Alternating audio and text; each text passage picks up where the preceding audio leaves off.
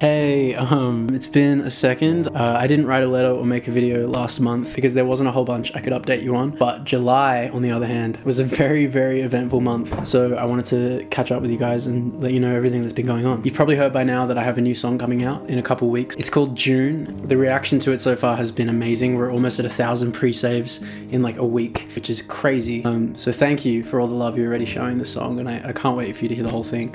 At the start of the month, me and a few friends went down south to a little cabin near the snowy mountains to film a music video for June.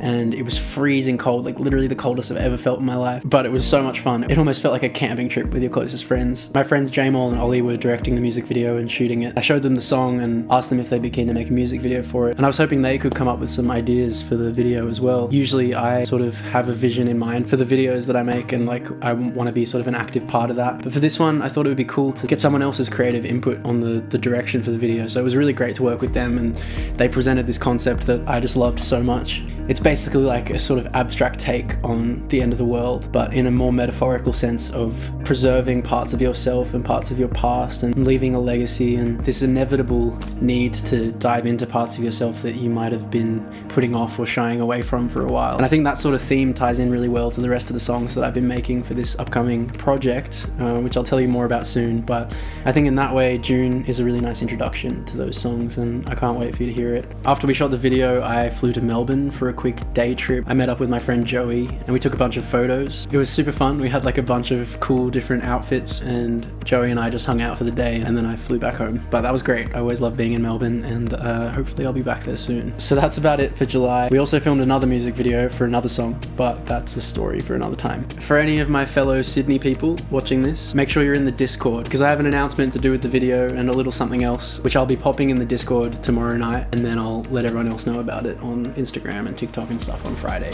You'll wanna you'll wanna hear it first, so join the Discord if you're not in there already.